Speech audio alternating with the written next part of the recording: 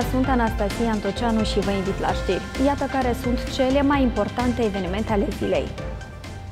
A mers la pescuit, s-a culcat în mașină, dar a uitat să tragă frâna de mână. Noaptea mașina a ajuns în lac, iar unul dintre copiii care dormeau în ea s-a necat. Tragedia a avut loc la Comrat. Aglomerație la căminele studențești din capitală, deși arată groaznic, studenții acceptă să locuiască în căminele oferite de stat, deoarece părinții nu au bani pentru a le închiria apartamente. Mai multe grădinițe din capitală își vor sista activitatea de la 1 septembrie din cauza salariilor mizere, puținii bucătari care au mai rămas prin grădinițe fie au scris deja cerere de demisie, fie se gândesc să o facă. Părinții se declară dispuși să contribuie financiar la redresarea situației, în timp ce autoritățile strâng din umeri. Ziua Independenței a trecut, iar reparațiile pe bulevardul Ștefan cel Mare așa și nu s-au încheiat. Primarul interimar s-a enervat pe muncitori că aceștia fumează mai mult decât lucrează, dar nu mai are nici măcar la cine striga. Cei de la Direcția Transport îl evită. Caz tragic la Cumrat, un minor de 8 ani a decedat în această dimineață după ce mașina în care dormeau aflându-se la pescuit a alunecat într-un iaz. Șoferul a, uit a uitat să tragă frâna de mână.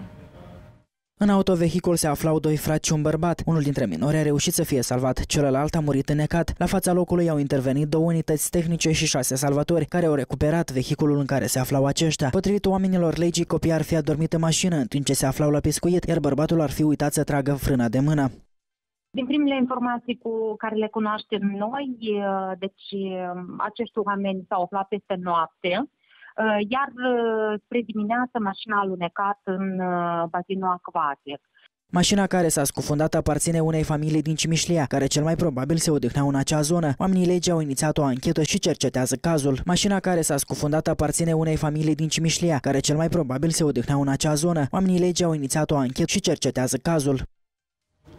După mașini blindate și avioane de lux închiriate, a venit și rândul elicopterilor. Oligarhul Vlad Plahotniuc se plimbă dintr-un raion în altul cu un elicopter închiriat din Turcia.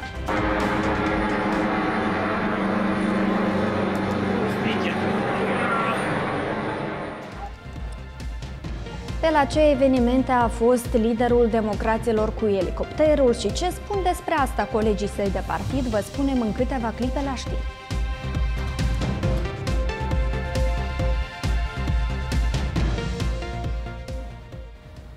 Doi indivizi sunt acuzați de viol după ce ar fi abuzat o tânără de 17 ani domiciliată în capitală. Inculpații sunt originari din raionul Criuleni și au 21 și respectiv 25 de ani. Cel din urmă a fost anterior judecat pentru infracțiuni patrimoniale. Incidentul a avut loc în urmă cu o lună într-un parc din orașul Vadului Vodă. Victima ar fi servit băuturi alcoolice într-o cafenea alături de niște prieteni. Ulterior, aceasta a ieșit din locație, moment în care ar fi fost dusă cu forța într-un parc de către cei doi indivizi. În cadrul audierilor, unul dintre ei și-ar fi recunoscut vina. A fost inițiată expertiza medico-legală care va demonstra circumstanțele în care s-ar fi petrecut actul sexual. Suspecții au fost reținuți pentru 72 de ore, iar până la expirarea termenului, instanța de judecată le-a aplicat arest pentru 30 de zile în penitenciarul numărul 13. Ei riscă până la 12 ani de închisoare. Mai multe grădinițe din capitală își vor sista activitatea de la 1 septembrie. Din cauza salariilor mizere, acestea au rămas fără bucătar și dădace. Unii părinți se declară dispuși să contribuie financiar la redresarea situației, în timp ce autoritățile locale strâng din umeri. Puținii bucătari care au mai rămas prin grădinițe fie au scris deja cerere de demisie, fie se gândesc să o facă.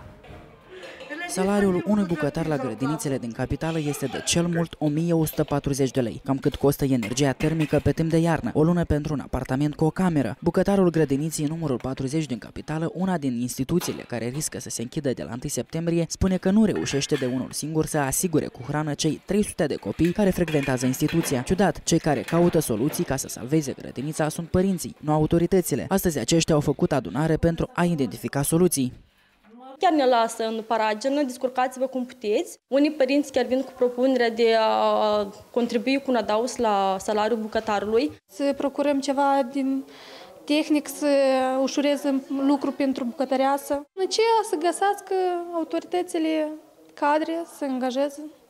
Stăm acasă.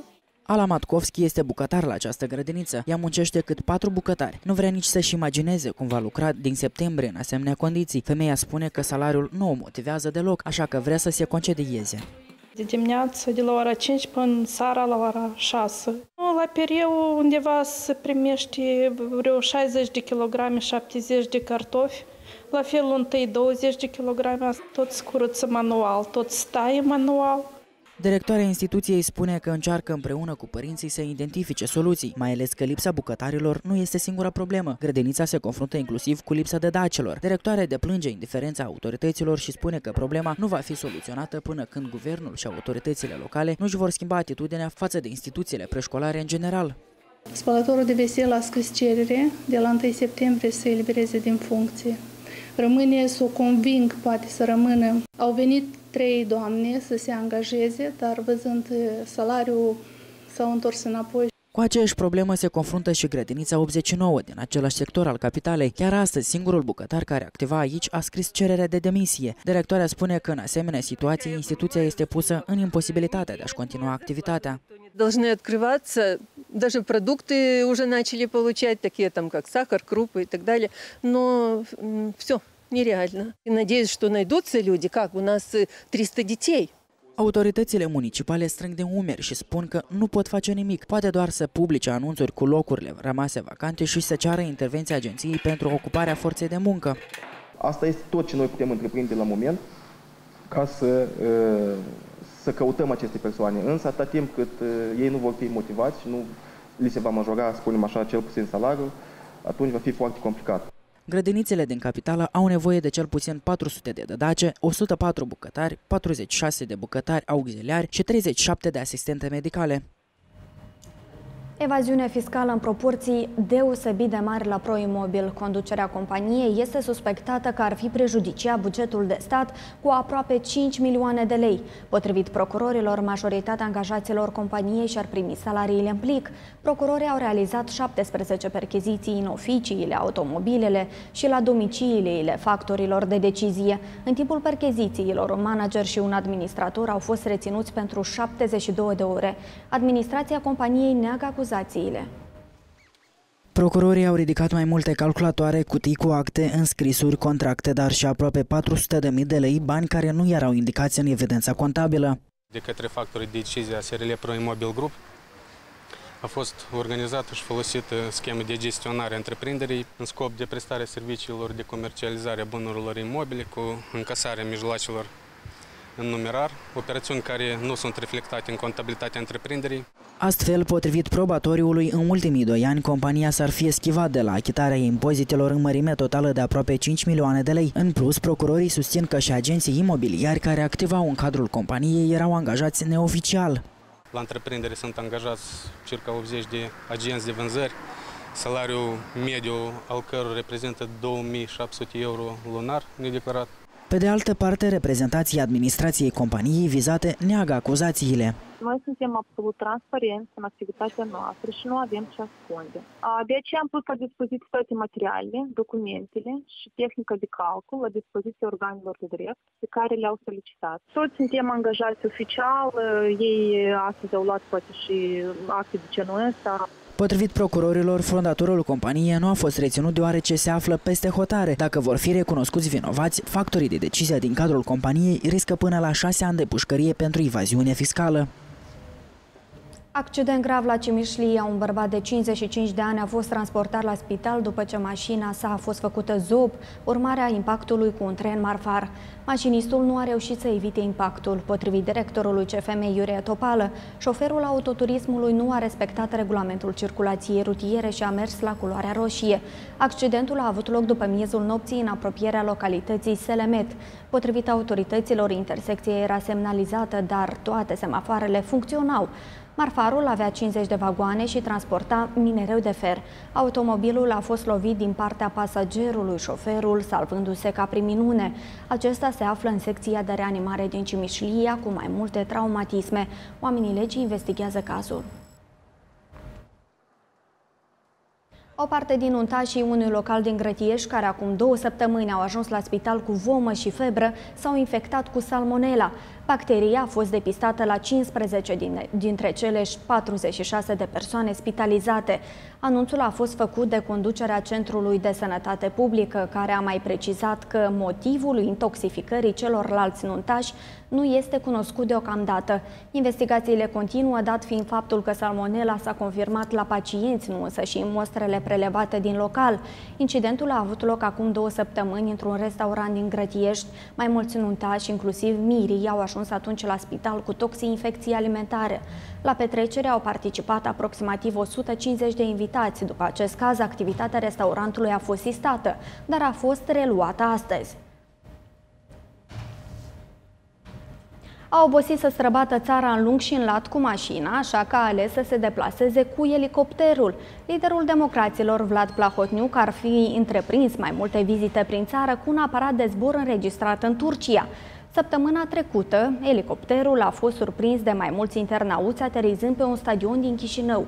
Democrații spun că nu l-au văzut vreodată pe șeful lor cu un elicopter.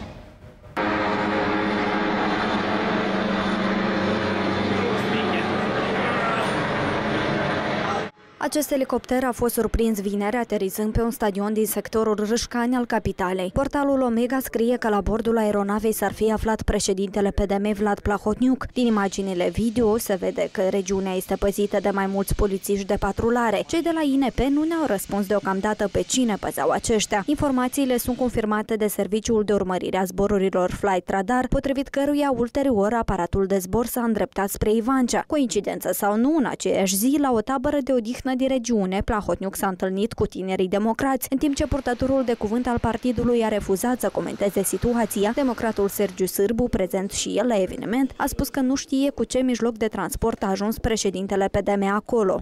Nu am observat cu ce transport a venit domnul președinte. Noi am fost complet în altă zonă. Personal nu l-am văzut niciodată pe domnul președinte.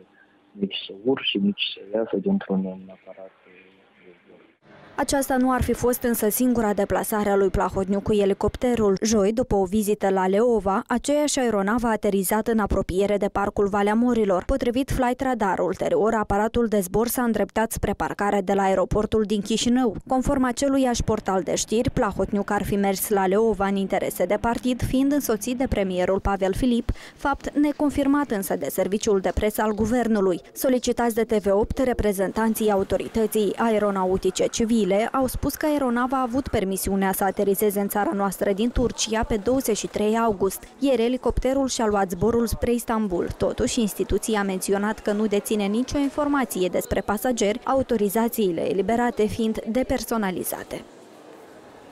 Copiii polițiștilor de frontieră au asistat la un show ca în filmele de acțiune oferit chiar de părinții lor. Le-a plăcut și vor să le urmeze exemplul.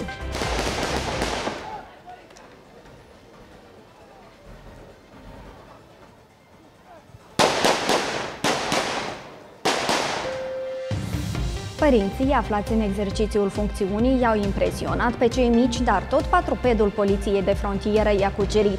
Ce au înțeles copiii din reprezentația părinților și cum le-a topit Lachi inima, vă arătăm în câteva clipe.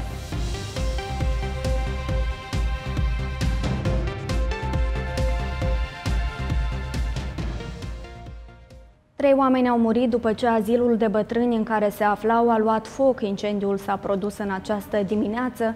În orașul rus, Krasnoiarsk, alte două persoane au fost internate la spital în stare gravă.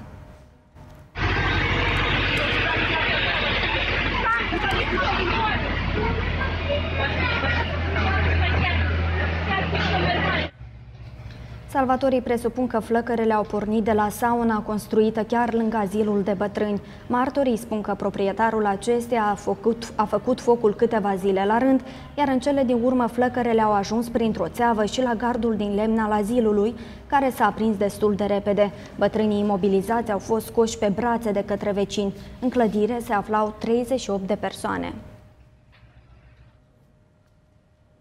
A furat un telefon mobil pentru a-și întoarce datoriile. Asta spune poliția despre un tânăr de 21 de ani care activează în calitate de muncitor pe un șantier din capitală. Potrivit poliției, individul originar din Tondușeni a atacat o fată în plină stradă, în timp ce aceasta se întorcea acasă în jurul orei 1 noaptea. Victima a cerut imediat ajutorul oamenilor legii care au reușit să-l prindă pe suspect. Tânărul a fost încătușat pe teritoriul Gării Auto de Nord, pe lângă datoriile pe care pretinde că le are, el riscă și o amendă de până la 17.000 de lei sau până la 5 ani de închisoare. Și dacă în acest caz poliția a reținut hoțul, atunci într-un alt caz de furt, oamenii legii solicită ajutorul oamenilor pentru a identifica un bărbat căutat pentru că a sustras un portmoneu plin cu bani într-un trolebuz din capitală. Fără vedete surpriză, pe 31 august, când vom celebra Ziua Limbii Române, cel puțin deocamdată cei de la Primăria Chișinău anunță doar un concert al trupei Alternosfera. De asemenea, tradițional vor avea loc depuneri de flori la busturile poeților de pe Aleea Clasicilor și sunt preconizate mai multe lansări de carte. Vrem ca în acest an să fie un uh, program uh, poate mai uh, emoționant, poate la un nivel mai înalt, mai elevat ca în anii trecuți, punând în valoare artiștii noștri, personalitățile noastre, scriitorii, creatorii, Festivitățile vor începe joi la ora 10 dimineața cu depuneri de flori și cu un recital de poezie pe aleea clasicilor. Ulterior va fi organizată o dezbatere publică despre limba vorbită astăzi, iar pe tot parcursul zilei vor avea loc evenimente precum lansarea de cartea Tamare Carauș, desvelirea plăcii memoriale ale Unii de Lari. Începând cu ora 17 și 30 de minute, în piața Marea Adunări Naționale vor evolua artiști autohtoni precum Guz, Natalia Barbu, Tania Cerga, Vasile Vasile Iovu, acompaniați de orchestra sinfonică și de cea a fraților Advahov. Evenimentul va culmina cu un spectacol al trupei Alternosfera. Vrem ca în acest an să fie un uh, program uh, poate mai... Zi memorabilă pentru copiii polițiștilor de frontieră. Astăzi aceștia au asistat la un spectacol unic oferit chiar de părinții lor. Micuții au urmărit cu sufletul la gură cum sunt reținuți infractorii și au făcut cunoștință cu patropezii instituției. După reprezentație, copiii au fost cuceriți de munca părinților, arătându-se convinși că și ei vor apăra frontiera atunci când vor crește mari.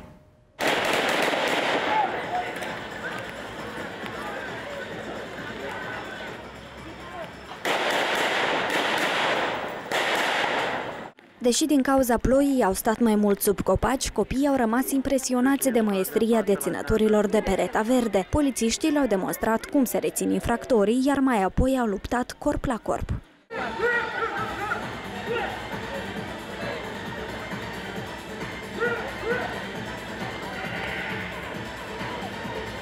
Unii au intrat în rol imaginându-și că sunt adevărați luptători.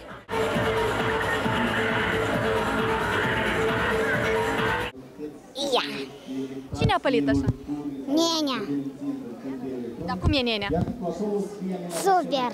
Și dacă scenele de luptă i-au lăsat cu gura căscată, atunci inimile copiilor au fost topite de Lachi, patropedul poliției de frontieră.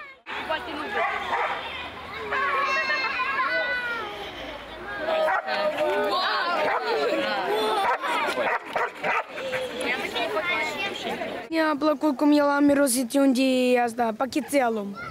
Și încă ne-a plăcut cum el se, se răstăgălea.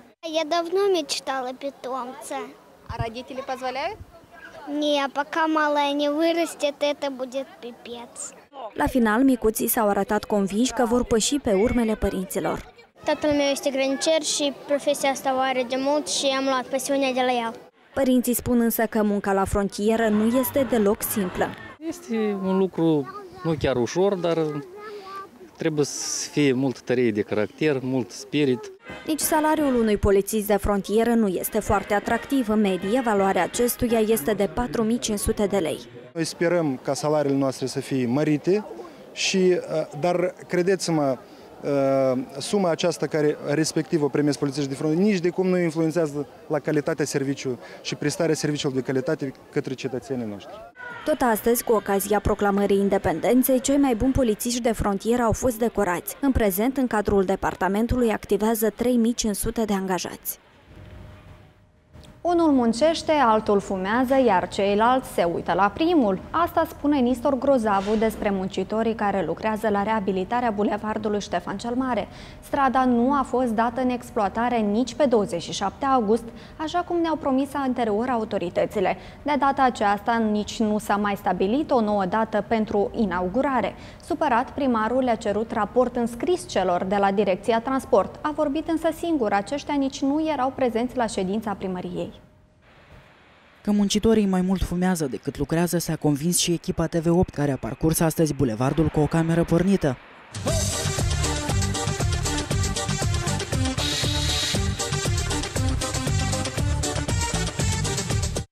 Chiar dacă o parte din tronsoanele bulevardului Ștefan cel Mare sunt gata și arată ca în Europa, cealaltă parte este plină de pietre, nisip și bolovani. Municipalitatea nu s-a ținut de cuvânt. Bulevardul central așa și nu a fost dat în exploatare până la ziua independenței, așa cum s-a promis. Orășenii spun că le este rușine că trăiesc în acest oraș.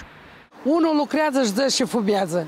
Așa cum ei nu sunt controlați. Soldat spit, служба идет. Mai nu ne-a rupt gâtul pare și Про эту дорогу? Да. Конкретный ужас. Столица, столица и такая дорога. Куда смотрит примария, я не знаю. E foarte bine, ia uitați, e frumos. Mai bine nu se poate. Pentru că știau că vor trebui să dea socoteală în fața primarului interimar, șefii de la Direcția Transport nici nu a venit astăzi la ședință. I-a înlocuit Lilian Copaci, care s-a justificat așa cum a putut. Finalizarea de bază nu s-a realizat din cauza mai multor motive tehnice ce au perturbat graficul inițial, dar în zilele ce urmează sper să finalizeze. Nistor Grozavu le-a cerut celor de la Direcția Transport să-i prezinte raport înscris pentru fiecare tronson și motivul care a determinat întârzierea lucrărilor.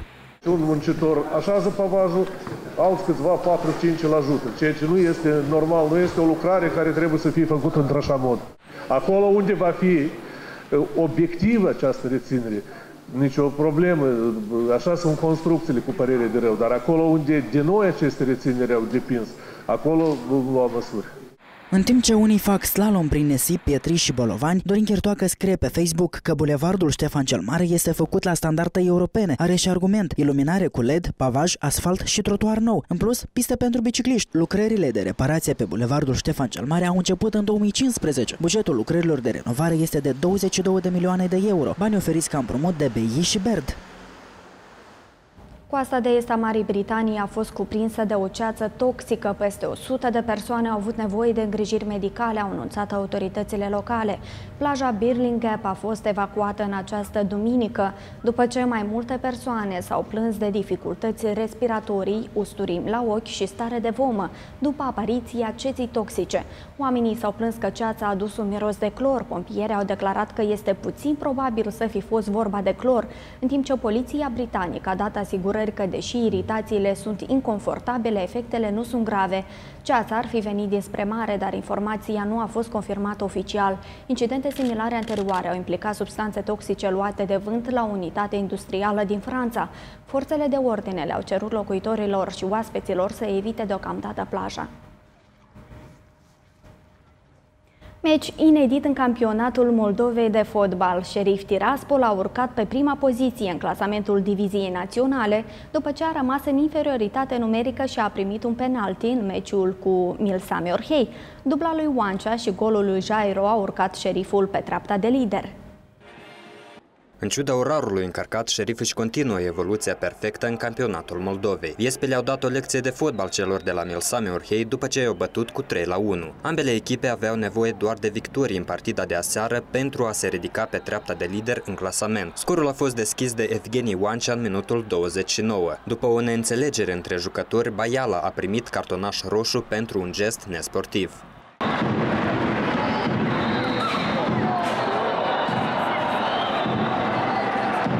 Milsame a avut posibilitatea să marcheze în minutul 70 după faultul lui Jardan în careu, dar portarul Viespilor a reacționat excepțional la șutul lui Dedov. Totuși, vulturii au reușit să egaleze prin Andronic în minutul 79. Bucuria lor însă nu a durat prea mult după ce noua achiziție a tiraspolenilor, Jairo, a făcut 2 la 1. Punctul în partida dintre Șerif și Milsame l-a pus același Oancea, care a marcat din parașută în ultimul minut al jocului.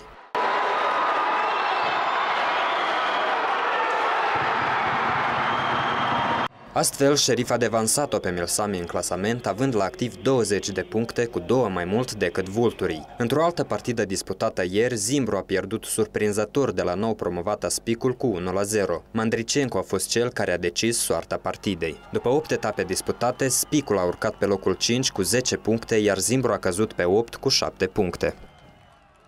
În campionatele interne din Europa au loc lupte încinse. United a înregistrat a treia victorie la rând în Anglia. Real Madrid a pierdut puncte în Spania, iar AC Milan a învins-o pe Caliare, la care evoluează și moldoveanul Artur Ioniță. Liverpool nu a avut milă de Arsenal în cea de-a treia etapă a campionatului englez. Elevii lui Jurgen Klopp au dat tot ce au putut în teren și au marcat de patru ori în poarta lui Cec fără a primi gol în propria poartă. Roberto Firmino, Sadio Mane, Mohamed Salah și Sturridge au trimis mingea în poarta tunarilor. Liverpool a urcat pe locul 2 în Premier League cu 7 puncte. În altă partidă, Chelsea a trecut de Everton cu 2 la 0 prin golurile lui Fabregas și noua achiziție Morata, urcând astfel pe 6. Prima poziție în campionatul englez o deține Manchester United cu 9 puncte la activ. Aceasta a înregistrat a treia victorie la rând după ce a trecut de Leicester City cu 2 la 0. Rashford și Fellaini au adus victoria pentru Mourinho. În Spania, Real Madrid a pășit cu stângul în a doua etapă a campionatului. Elevii lui Zidane au încheiat indecis partida cu Valencia, scor 2 la 2. Asensio și-a arătat din nou clasa. Ibericul a marcat o dublă impecabilă. Asensio through the wall! Într-un alt meci, FC Barcelona a trecut lejer de Deportivo Alaves cu 2 la 0 după dubla lui Messi. Argentinianul a fost și antierou după ce a ratat un penalti. Astfel, după două etape, Barcelona a acumulat maximum de puncte. În Italia, echipa lui Artur Ioniță Cagliari nu a ținut piept lui AC Milan, cedând cu 2 la 1. Moldoveanul a fost titular pe tot parcursul meciului. Doamnelor și domnilor, acestea au fost știrile. Nu ratați la ora 21 știrile în rusă cu Iana Stepanenko.